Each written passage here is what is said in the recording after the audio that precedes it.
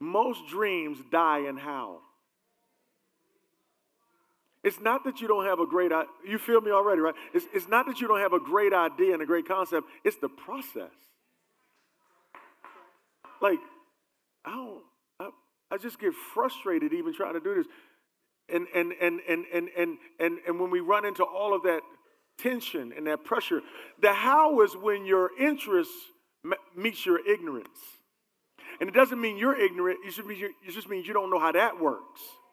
Because every vision will take you from what you know to where you're trying to go, but it always takes you through a place you've never been.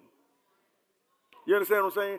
So you move from the familiar to the unknown, but you must, you move from the familiar to the desire, but you must walk through the unknown. And when you walk through the unknown, you start running in the complications, and you're like, and most people, most people that I'm talking to today, that I'm assigned to talk to today, your vision is sitting somewhere in a file called I don't know how. I just don't know how. If I ever, Pastor, if I ever can figure out how to do it, if I ever, it's a wonderful idea. And everybody you talk to, you talk about it, and you really are clear on what. You clear on the what. You're even clear on the problem it's supposed to solve, which is, I just don't know how. And so it's in a file, it's on a laptop, it's on a hard drive, it's in a closet, it's in a binder, it's in a journal, it's in your head, stuck in a place called how.